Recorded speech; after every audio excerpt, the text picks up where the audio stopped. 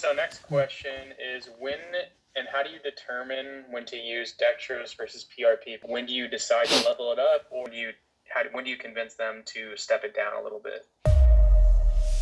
Good question. So here's how I think about these things. I am, uh, with very few exceptions, I am a believer in that if one injection is indicated, they're all indicated.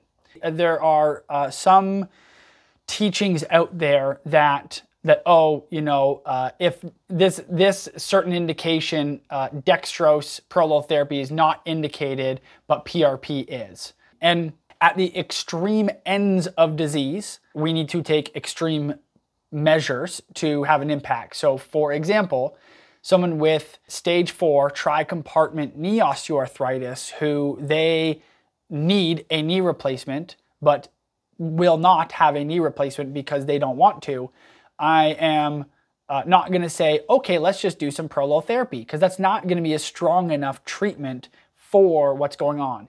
Could you? Yeah, I'm sure you probably could, but it would probably take you 30 to 40 treatments every four weeks to make a significant difference in that advanced stage disease. So, the first thing I do with my patients is screen them and go through their physical exam and say, are you a candidate for a regenerative injection therapy? Are you a candidate for any of them?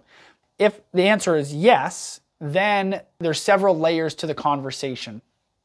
The first layer is efficacy. So there are certain things that do better with certain therapies when you factor in the cost. So as an example, if somebody came to me and they just have an ATFL and a CFL, you know, chronic ligament laxity injury, ligaments respond pretty damn well to prolotherapy, to dextrose. And in those cases where it is an isolated ligament injury, I don't think you it's really worth the money to upgrade to PRP without at least trying prolotherapy first.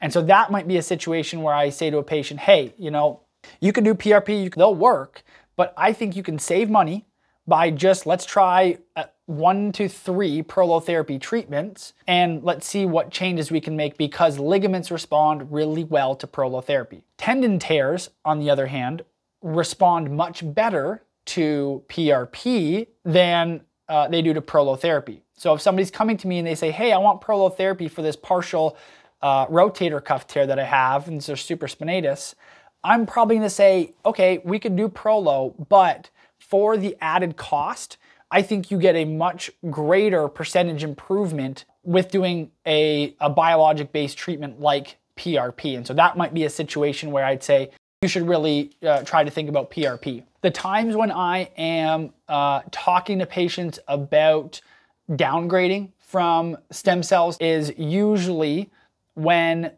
their condition is not so severe. So that one kind of comes with clinical experience. So, for example, if someone comes in and they've got uh, grade one osteoarthritis, medial compartment of the knee, that's going to respond pretty well to PRP, might even respond well to Prolo. So, everyone is at least appreciative of that. But some of that comes with uh, clinical experience and and in part not being afraid to take less money to try and help somebody, which is when you're trying to run a business is sometimes a difficult thing to do, but it's the, uh, the right thing to do.